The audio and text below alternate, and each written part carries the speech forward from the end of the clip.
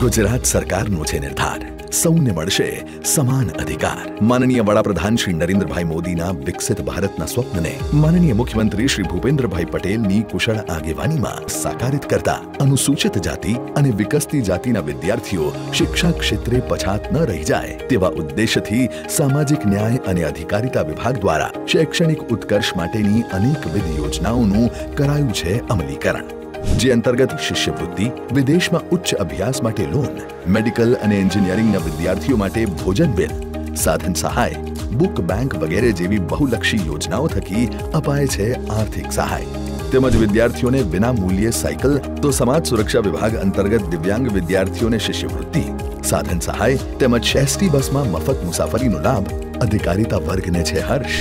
ગુજરાત સરકારને સંગ થઈ રહ્યો છે